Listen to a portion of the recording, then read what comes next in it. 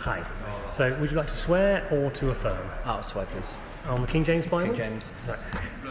And as I say, very helpful. You can just say your name and constituency before we read, before we read these words. So it's uh, Dr. Ben Spencer, Runnymede and Weybridge. Thank you. I swear by Almighty God that I will be faithful and bear true allegiance to Her Majesty Queen Elizabeth, her heirs and successors, according to law. So help me God. Thank you very much. And would you like to sign the test roll for the next next day? Hi. Uh,